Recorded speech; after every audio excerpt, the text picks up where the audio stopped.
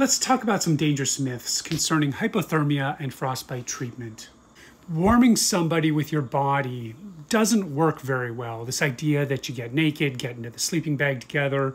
Um, the problem is that at some point you're going to need to get out in order to particularly treat a hypothermic patient uh, at some higher level. Instead, we're going to use a hypo wrap. So what you're going to do is you're going to put a pad down. You'll put, uh, well, first you'll put down a tarp.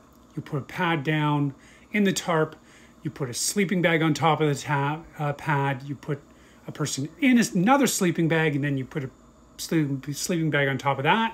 If you have hot water bottles, you're going to place them in these areas in order to keep the person warm. And then you're going to fold the person up in the tarp like a burrito. This should rewarm the person. It's about the most effective field rewarming thing that you could possibly do. The other thing we might need to look at is frostbite and rewarming a frozen limb uh, by the fire.